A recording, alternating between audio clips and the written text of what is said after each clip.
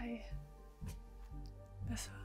Øhm, det er sindssygt mærkeligt, det her. Det er slet ikke meningen, det skulle blive så akavet. Jeg ved slet ikke, hvor jeg skal starte. Altså... Øhm,